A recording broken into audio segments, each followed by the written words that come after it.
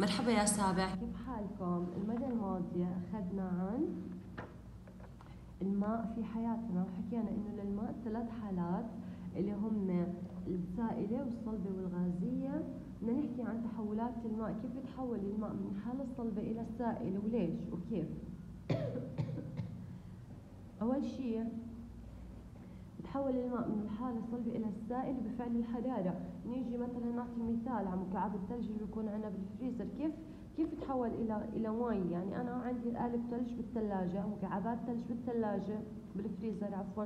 كيف بدها تتحول ل إلى لسائل؟ بعرضها للحرارة بعرضها لأشعة الشمس بحطها بمكان درجة الحرارة فيه عالية.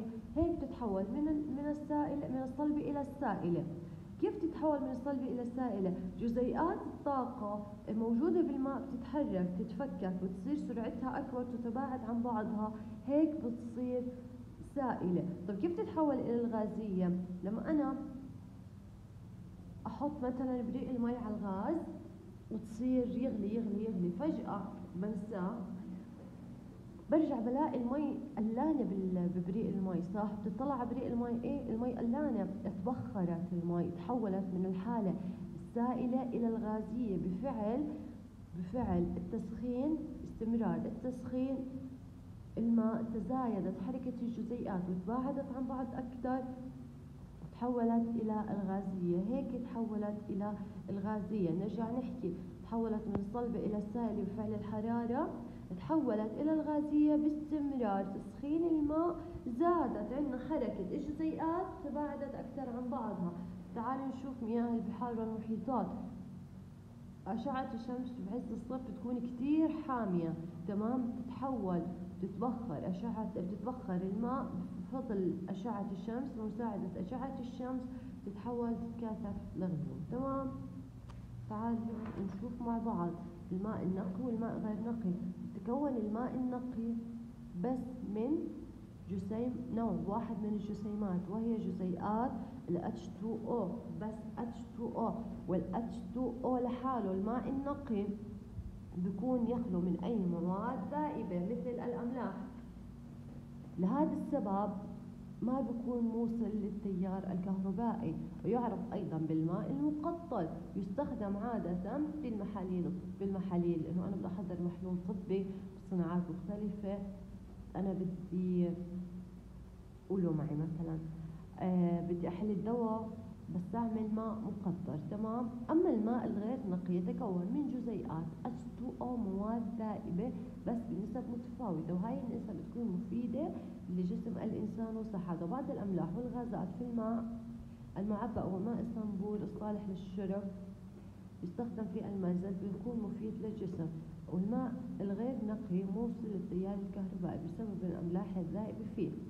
عشان هيك إحنا بنحذر دائما إنه ما نمسك أدوات الكهربائية وايدينا مبلولة ما أحط إيدي على القابس بريس الكهرباء؟ أشيل الشاحن بالغلط من الكهرباء؟ أي شيء.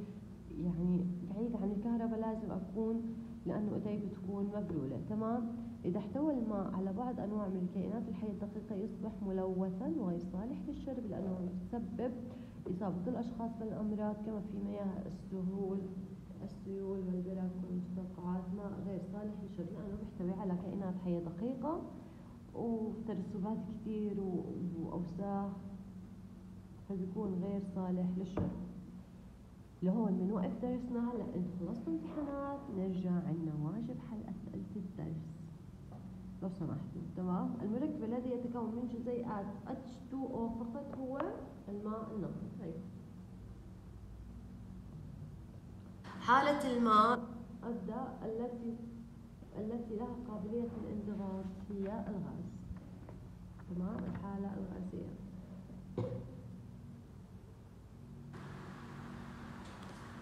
حالة المادة التي يكون شكلها ثابت ولها حجم محدد هي شو رأيكم أكيد الصلبة أترك لكم هاي الأسئلة حلوها إلكم إلكم بس. تمام؟ إلكم. يا ريت اللي اللي بيبعث لي بكون يعني ممنونته اللي بعث لي حل باقي الأسئلة. 2 3 4 5 6 تمام؟ آه راح نحلهم. مش المرة الجاي نأخذ الدرس التائبية يعني نحل زي هذيك المرة تمام؟ الأسئلة كلها مع بعض أحسن. هيك عشان نعمل مراجعة للوحدة بنحل أسئلة الدرس الأول والثاني وأسئلة الوحدة مع بعض. أوكي؟ بس إنه حلو الأسئلة مبدئيا إلكم عشان ما تتراكم عليكم لما أحكي لكم عندنا واجب حل أسئلة الدرس الأول والثاني والثالث. تحكوا لي يا مس ضروري نحل أسئلة الوحدة. إيه، عارفين أنا مين بقصد بهذا الفيديو بهذا الحكي صح؟ حلوا أسئلة الدرس وخلوها عندكم. آه، وابعتوا لي إياها. ماشي يا حلوة؟ ما في غيرك حلوة معنا بالصف. تبعتي لي حل أسئلة الدرس. والمرة الجاية ناخذ درس جديد إن شاء الله. والأسئلة بنحلهم كلنا مع بعض. اتفقنا؟ بشوفكم على خير يا سابع. وأنا مش ماشي بالمادة كثير عشان إنه أنتم تدرسوا وتاخذوا وقتكم. اتفقنا؟ أصلا ما ضل إشي كثير يعني ما ضل. Okay؟ بشوفكم على خير. بتمنى لكم نهار حلو مثلكم. Bye bye.